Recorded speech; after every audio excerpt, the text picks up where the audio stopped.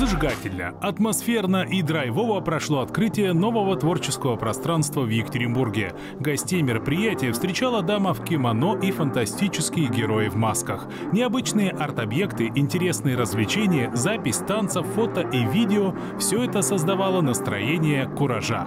Это уникальное пространство для молодежи, для молодых, современных, открытых, свободных, творческих людей. Здесь может, могут быть и дни рождения, и свадьбы, и детские праздники, и происходить какие-то э, тренинги, обучение, вообще хоть что, выставки какие-то. Творческое пространство разделили на несколько зон. Помещения были соединены между собой зеркальными переходами. Особенно гостям праздника понравилась иллюзорная комната, в которой невозможно было почувствовать границы. Но главное действие происходило в общем зале. В нашем пространстве очень много зеркал.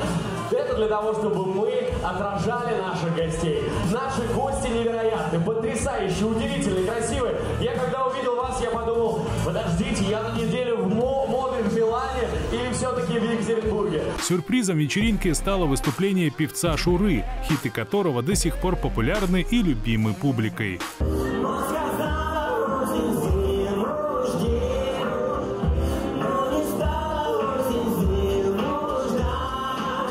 Также специально на открытие творческого пространства пригласили резидента знаменитого московского клуба «Симачев» диджея Федора Фомина. Екатеринбург в ближайшее время ожидает масса тематических вечеринок в новом творческом пространстве. Причем все они будут абсолютно разными. Самых модных и статусных тусовщиков планируют удивлять и интриговать необычными мероприятиями с приглашенными звездами. Помимо вечеринок, в творческом пространстве будут проводиться мастер-классы и тренинги. При этом каждый горожанин сможет арендовать лофт для своего мероприятия.